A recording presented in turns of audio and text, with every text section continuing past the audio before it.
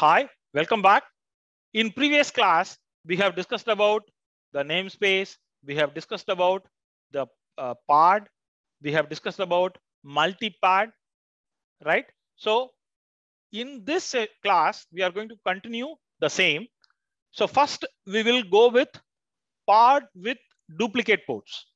And we will see what kind of a error we are getting, right? So the same here, before going to that, we will just see, is there any namespace? Yes, first we will get rid of the namespace so that we will feel all Facebook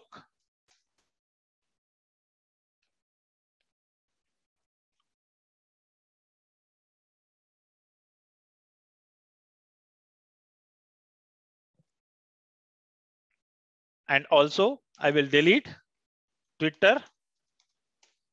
So now our, our mission is completely clean state, right? So let's go one by one. Duplicate ports, right? Before going to that, I will uh, explain about this YAML. Go here. See the same kind of a previous YAML file, but there is a small difference. Wantedly, I mentioned two container with the same port. Let's see what, what will happen. So go here. As I said, kubectl apply. Go here and paste it. Enter. Of course, because just now we have deleted create yeah, namespace Facebook. You, you do uh, several mistakes during the learning. The reason is you have to type again. The more you type again, the more you will be confident. So Facebook, enter. So the Facebook uh, namespace got created. Again, I'm applying it. So now immediately I got right. So you can immediately go here and say this command. See crash loop back off. So something is happening inside, right? We will, we will check what is happening inside. So what is the part? Part multi-container parts, right? So let's go and run this describe and we will understand. We have to know what is happening inside because there is a two container, right? Crash back look off, which means uh, both containers are down. Let's go above. See here, there is a one container is running and another container is waiting. Crash back look off. Why? Because remember, wantedly we want to simulate this situation. This port also 80, this port also 80, right? So which means you need to understand one part you have to, if, if you are creating a two containers or three containers or multi containers, then the port should be different, right? So go here and go back to this. So this is how you need to understand how this uh, command will help you to log in inside. Enter. So because it's not up. So one. So you can go and check the logs. Okay. So if you want to check each and every container logs, right? So you can uh, uh, run similar command, but only thing is you need to run the specific container name, right? How you are logging uh, execute hyphen it and then pod name and the namespace the similar way here. But only thing is instead of execute interactive terminal, we are adding the logs, right? Come down. We are going to clean up as usual.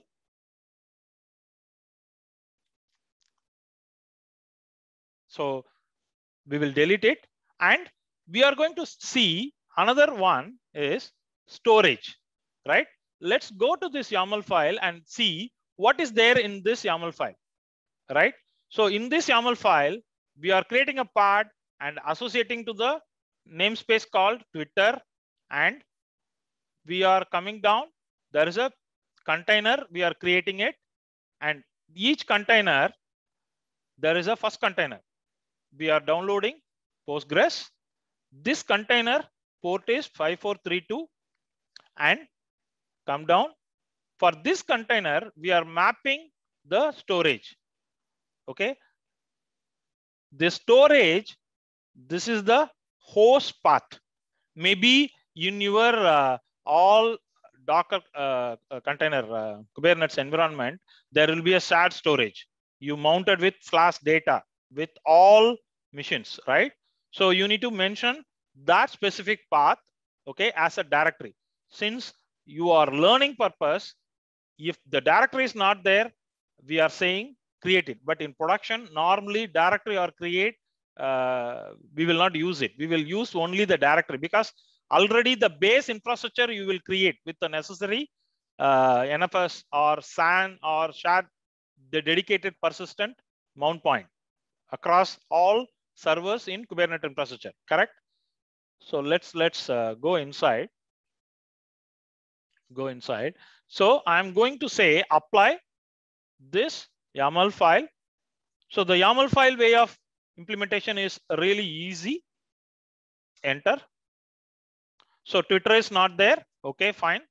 kubectl create ns Twitter. So again, I'm going to apply it. So now part database got created, right? So now we will go and say get parts and hyphen o wide. Let's see this part got created in which machine? Node 2, right? In node 2, what we have mapped var lib postgres, right? So we will go and check this directory from node 1 first. It's not there. And node 2 is there, right? So now you, you got a, a idea, right? How this works. So, but remember in production, you should use only directory because the mount point already mounted as a shared across your Kubernetes resources, right? Go down and you can delete as usual because this is how you need to learn each and every time you clean up the environment so that you know what you are doing. Calm down. And now one storage we have discussed. Now multi-storage. Before going to that implementation, we will see how this YAML file. Come down. See here, so there is a part we are creating and uh, uh, DB, the part name is DB and we adding the label. As I said, the, the labels up to you, but it should be some meaningful. And we are tagging to the Facebook namespace. So when we execute this YAML file, this Facebook namespace should be available. And come down. And this namespace, okay, uh, this container, this first container, DB, okay, we are calling the Postgres. And the container port is 5432 and next container is web and port is 80. And the volume, okay, see here, this web container, right? You are mentioning web data, right? So the same name you are calling here and mentioning what is the host directory. So that means you are mapping the host to container. And you are mapping the host to container. This is how you need to first understand the YAML file before going to the actual execution, right?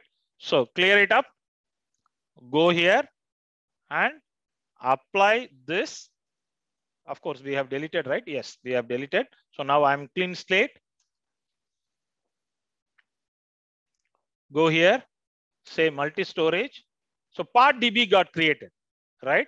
So let's go and say get all and see what all is there. So there is a part DB is running on node 2, correct? Come down and describe also if you want you can run it to understand more detailed one of course in this there is a db is running and there is a web is running with the mount points this mount point as well as this mount point right this is what we uh, mentioned in uh, YAML file while provisioning as, as a read write, right? So which machine is currently running node 2, right?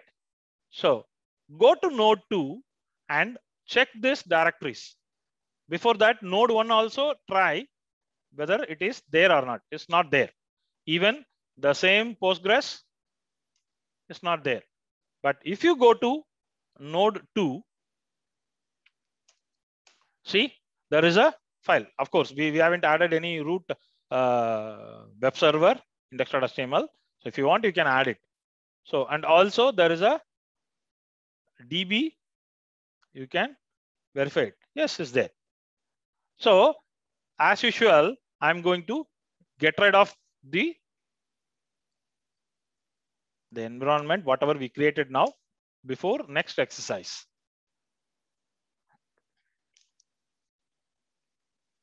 Yes.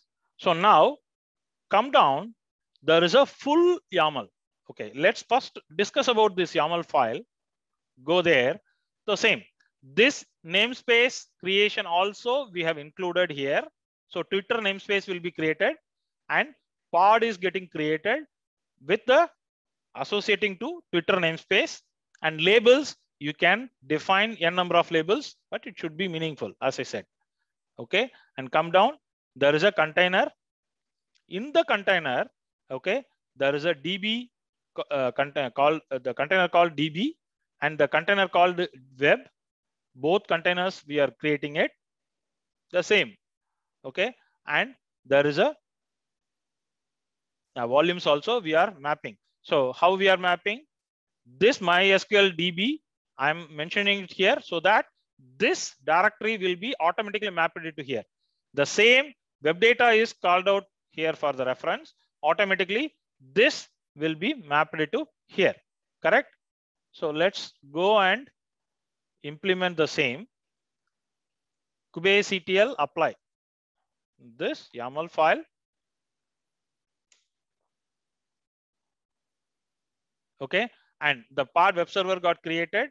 If you want, you can check all what is there inside. So if you want, you can go with uh, describe also. So in, in description, uh, the DB container and there is a web container everything is there. Come down. So as usual we are going to get rid of this before the next exercise. So this is how you need to keep add one by one which will make you to uh, confident on each area while while troubleshooting so now find out the below YAML deployed in which namespace so we are going to copy this and go here. So there is a pod is getting created. Okay.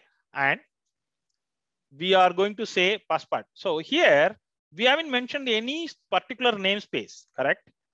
So, but I want to create this provision this in some namespace. So while applying itself, you can specify some namespace name. This also it's possible. So copy this go here, of course, we will get the error because we have deleted the namespace called cloudnloud. So kubectl create ns cloudnloud.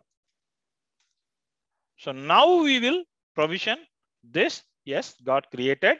Now, as usual, you go for get all, get all. Yes, and then you go for the specific running part see from the output part name is first hyphen part. So we are saying the specific one come down.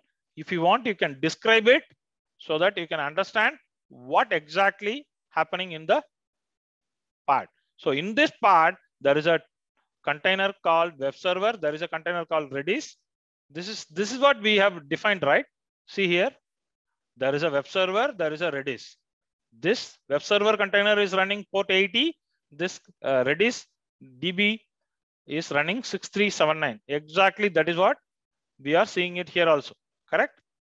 So this is how you need to understand one by one. Of course, we are going to delete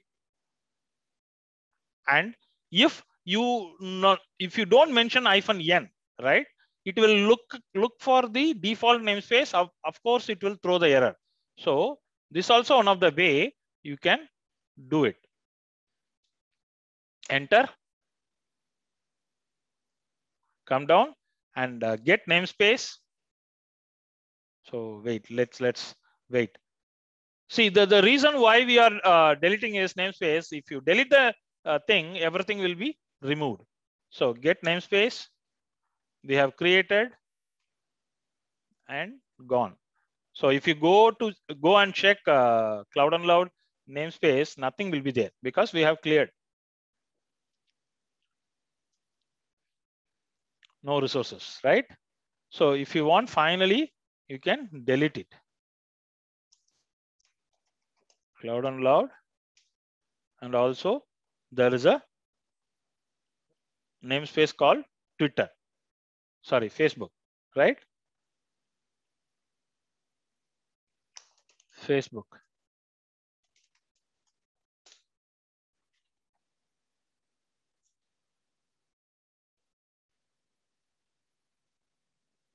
Stay tuned. We will we will meet with uh, uh, further sessions. Thanks for everyone.